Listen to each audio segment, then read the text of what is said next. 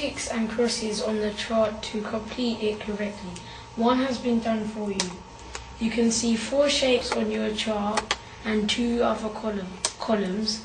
One says it is a quadrilateral and the other one says it has one or more right angles. As you can see, one has been done for you. This one is not a quadrilateral because it has five sides and a quadrilateral needs to be four sides.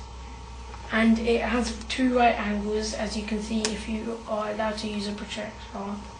There are two right angles over, the, over there. And um, this one is a rectangle.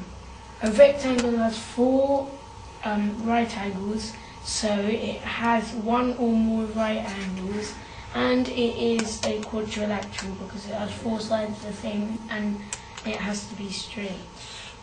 This, as you can see, is the parallelogram. It has two acute angles and two obtuse angles. So it's a quadrilateral, but it is not a right angle.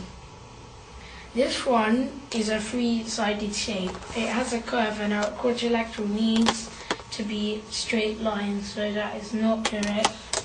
And it does have one right angle over there